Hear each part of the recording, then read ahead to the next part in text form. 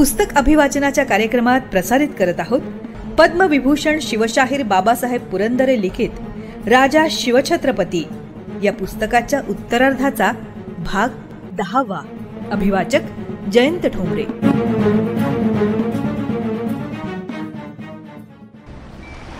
रात्र संपली. पहाटवारे वाहू लागले.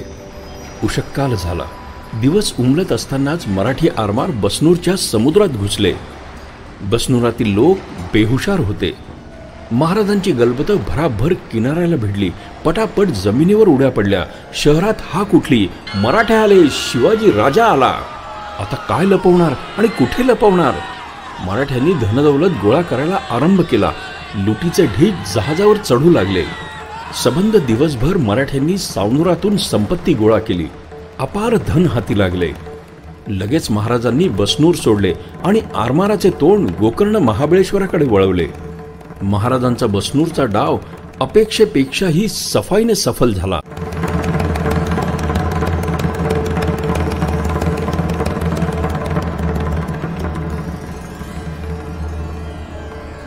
गोकर्ण महाबळेश्वर फार रमणीय आणि प्रशांत शिवक्षेत्र हे. वनश्री जलश्री आणि शैलश्री इथे आपल्या संपूर्ण वैभवासह नांदतायत. शिवालयाला शोभावी अशीच प्रसन्नता शतकानुशतके इथे नांदते. महाराज गोकर्णास आले. नुकतीच शिवरात्र होऊन गेली होती. पण आजही पुन्हा शिवरात्र प्रकटली. शिवाजी महाराज शिवाच्या दर्शनास गेले. त्यांनी स्नानपूजन दर्शनादी विधी यथासांग पार पाडले.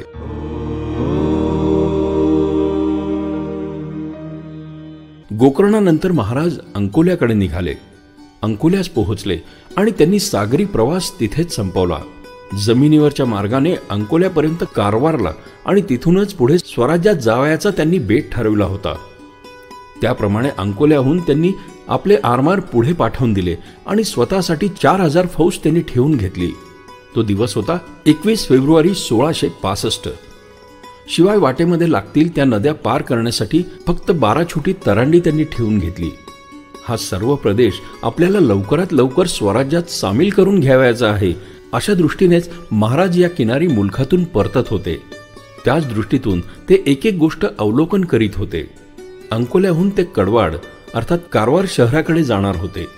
या प्रवासातच होळी पौर्णिमा पार पडली. कारवार म्हणजे महाराष्ट्राचे शेवटचे टोक. कारवार परगणा हा महाराष्ट्राचा शेवटचा परगणा. नंतर कर्नाटक प्रदेश सुरू होतो. फार सुंदर प्रदेश आहे कारवारचा. सौंदर्याचे बुद्धिमत्तेचे आणि कलेचे प्रांगण म्हणजे कारवार. कारवार गोमंतकाचा प्रदेश प्रतिभावंतांचा प्रदेश. सारस्वत ब्राह्मणांची इथे फार मोठी वस्ती. सारस्वत म्हणजे सरस्वतीचे पुत्रच. बुद्धिमान विद्वान मासे खाऊन बुद्धी सतेज झाली म्हणे त्यांची. कारवार उर्फ कडवाडवर विजापूरच्या बादशहाचा अंमल होता. कारवारहून काही द्रव्यलाभ होतो की काय हे पाहण्यासाठी महाराज तिकडे चालले होते. विजापूरकरांचा एक बहलोल खान नावाचा एक बडा सरदार कडवाड सुभ्याचा सुभेदार होता. यावेळी मात्र बहलोल खान कडवाडाच नव्हता. तो दुसरीकडे म्हणजे बहुधा विजापुरास दुसऱ्याच एका कामात गुंतला होता. त्याची आई मक्केला जाणार होती म्हणून तिची तयारी करून देण्यास तो गुंतला होता. कारवारात इंग्रजी व्यापाऱ्यांची एक लहान वखार होती. भगवे झेंडे लावलेले एक मोठे आरमार त्यांनी समुद्रातनं जाताना पाहिले. आरमार बसनूरकडून वर सिंधुदुर्ग मालवणकडे चालले होते. इंग्रजांनी ते ओळखले की हे तर शिवाजीचे आरमार आहे. आणि त्याच दिवशी रात्री म्हणजे एकवीस फेब्रुवारी सोळाशे पासष्ट रोजी त्यांना त्यांच्या हेरांनी बातमी कळवली होती की खुद्द शिवाजी राजा चार हजार मराठ्यांसह अंकोल्यात आला असून तो कारवारवर येणार आहे. आता इंग्रजांची धावपळ उडाली. शिवाजीचे नाव उच्चारले की इंग्रजांना घाम फुटत असे. इंग्रजांनाच पूर्वी सुरतेहून त्यांच्याच कचेरीवाल्यांचे एक पत्र आले होते. त्यात म्हटले होते की शिवाजी कारवारवर कधी येणारच नाही असे समजून विसंबू नका. त्याच्या पातळीवर असा. वेळ आलीच तर चंबू गबाळी गुंडाळून पसार होण्याची तयारी असू द्या. सुरतकर इंग्रजांचे शब्द फळाला आले. शिवाजी आला. इंग्रजांनी भराभर आपला माल मस्कतच्या एका व्यापारी गलबतावर नेऊन चढवला. त्या व्यापाराने वचन दिले की तुम्ही सांगाल त्या बंदरात नेऊन तुम्हाला सोडीन. चिंता करू नका. परंतु इंग्रजसुद्धा चिवटच. ते बंदर सोडून गेलेच नाहीत. फक्त तयारीत राहिले. त्याच रात्री म्हणजे एकवीस फेब्रुवारी सोळाशे पासष्ट रोजी सुभेदार बहलोल खानचा एक नायब सरदार शेर खान हा कारवारात येऊन पोहोचला. त्याला स्वप्नात सुद्धा कल्पना आली नव्हती की आणखीन काही तासातच शिवाजी भोसला कारवारवर येऊन धडकणार आहे. कारवारात आल्याबरोबरच सलामीलाच त्याच्या कानावर ही बातमी येऊन आदळली की शिवाजी कारवारवर चालून येतोय. शेरखानच्या काळजाची काय उलघाल झाली असेल हे त्याचे त्यालाच माहीत. तो काही फौजफाटा घेऊन आलेला नव्हता. तयारी काहीच नव्हती. तो आला होता बहलोल खानच्या आईला मक्केत जाण्यासाठी गलबत ठरवून द्यायला. परंतु अकस्मात ही काय भयंकर धोंड त्याच्या अंगावर गडगडत येत होती. शिवाजीचे संकट आणि तेही अचानक म्हणजे काय साधीसुधी गोष्ट होती काय? परंतु हा शेरखान खरोखरच मोठ्या धीराचा विवेकी कर्तव्यदक्ष आणि दूरदर्शीही. दुसरा एखादा इनायत खान सारखा भेदरट असता तर आल्या पावली परतच गेला असता पळून. पण शेरखान हा आपल्या बापासारखा हुशार होता. त्याने बिलकुल न डरता रातोरात हाती असलेल्या सामानानिशी आणि माणसांनिशी कारवारचा बंदोबस्त केला. लोकांना दिलासा दिला आणि स्वतः प्रथम महाराजांकडे निरोप पाठवला की कारवारच्या रक्षणासाठी मी उभा आहे. तुम्ही शहरास यत्किंचितही तोशीस न देता शहराच्या बाहेरूनच परस्पर पुढे जावे. महाराजांनी यावर उलट निरोप पाठवला आपण शहर सोडून देऊन सूड घेण्यास मुभा करून द्यावी. नाहीतर इंग्रजांच्या मालाची गलबते आमच्या स्वाधीन करावी. म्हणजे संक्रांत आली इंग्रजांवरच. शेरखानने सर्व विचार केला. त्यांनी इंग्रजांना महाराजांचा निरोप कळवला. आता काय करावे असा इंग्रजांपुढे पेच पडला. पण शेरखानने स्वतः पुढाकार घेऊन कारवारातील सर्व व्यापाऱ्यांकडनं मोठी रक्कम जमवली. इंग्रजांनीही एकशे बारा इंग्रजी पाऊंडांच्या किमतीची रक्कम गोळा केली. असा मोठा नजराणा शेरखानने महाराजास पाठवला.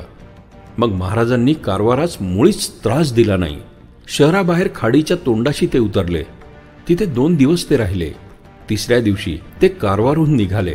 पण इंग्रजांना साफ लुटण्याची त्यांची इच्छा अपुरीच राहिली. ते जाता जाता म्हणाले आमची होळीची शिकार शेरखांनी घालवली. महाराज दरवर्षी होळी पौर्णिमेच्या सुमारास कुठे ना कुठेतरी शिकार करीतच असत. त्यांचा वाढदिवसही त्याच दिवसात येत असे. महाराज कारभारात असतानाच त्यांना छत्तीसावे वर्ष लागले. शेरखानने मात्र हुशारीने कारवारचा असा बचाव केला. हा शेरखान कोण ते आलं का लक्षात? हा खान मोहम्मदाचा मुलगा. खान मोहम्मद कोण ते आलं का लक्षात? अफजल खानाने बादशहाकडे ज्याच्याबद्दल कागाळी करून बड्या साहेबिणीकडून विजापूरच्या मक्का दरबारात ज्याला भर रस्त्यात ठार करविलं तो शहीद खान मोहम्मद. शेरखान हा अतिशय प्रामाणिक वचनाला जागणारा लाच न खाणारा आणि पैशाच्या हिशोबाला चोख होता. बादशाहीत असे उदाहरण म्हणजे भांगे तुळसच. महाराज कारवारहून पायवेटेने भीमगडास आले. भीमगड आहे खानापूरच्या नैऋत्येस आठ कोसावर. तिथे काही काळ मुक्काम करून ते राजगडास जावयास निघाले. कारवार आणि कारवार परगणा स्वराज्यात असलाच पाहिजे ही महाराजांची इच्छा होती. महाराष्ट्राचा संपूर्ण पश्चिम किनारा आपल्याच ताब्यात ठेवण्यासाठी त्यांची जी सतत धडपड चालू होती तिचे मोल केवढे मोठे होते?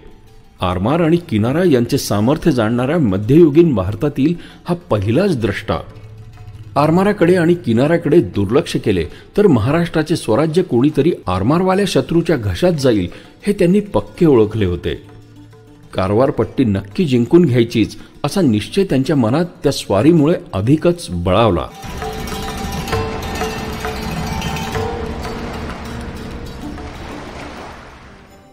लवकरच म्हणजे मार्च प्रारंभ सोळाशे पासष्ट महाराज राजगडावर आले आणि एक अत्यंत दुःखद बातमी त्यांना समजली. सोनोपंत डबीर माघ वद्य पंचमीस म्हणजे पंचवीस जानेवारी सोळाशे पासष्ट रोजी स्वर्गवासी झाले. स्वराज्याच्या कारभारातील आणखीन एक वडीलधारे माणूस गेले. पंतांनी महाराजांची आणि स्वराज्याची अगदी जन्मापासून सेवा केली.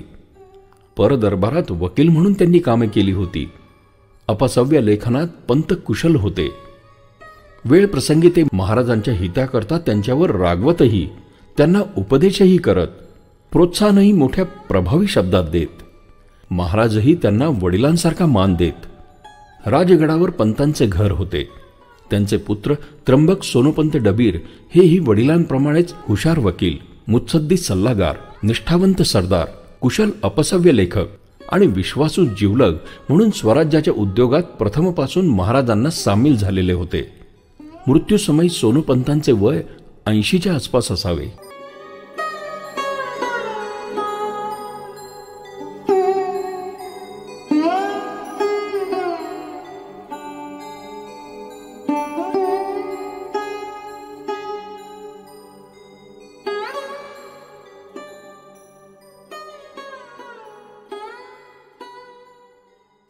श्रोते हो. पुस्तक अभिवाचनाच्या कार्यक्रमात पद्मविभूषण शिवशाहीर बाबासाहेब पुरंदरे लिखित राजा शिवछत्रपती या पुस्तकाच्या उत्तरार्धाचा भाग दहावा आज आपण ऐकणार रसिक हो आपल्याला हे पुस्तक अभिवाचन आवडतंय भावतंय ऐकावंसं वाटतंय हे आपण दिलेल्या कमेंट्सवरनं लक्षात येतच आहे. पण आपण आपल्या याविषयीच्या कमेंट्स प्रतिक्रिया आम्हाला रेकॉर्ड करूनही पाठवू शकता. या पुस्तक अभिवाचनासाठी येणाऱ्या प्रतिक्रियांवर आधारित प्रतिसाद या विशेष कार्यक्रमात त्याचा नक्कीच समावेश केला जाईल. मग आता त्यासाठी आमचा व्हॉट्सअप क्रमांक आहे चौऱ्याण्णव दोनशे बावीस पंचावन्न नऊशे नऊ. क्रमांक पुन्हा एकदा ऐका.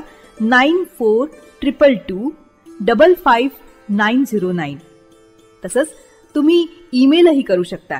त्यासाठी आमचा मेल आय डी आहे image ad twenty seven at the rate Gmail dot com I M A G E A D two seven at the rate Gmail dot com तेव्हा आपल्या प्रतिक्रिया रेकॉर्ड करून आम्हाला नक्की पाठवा.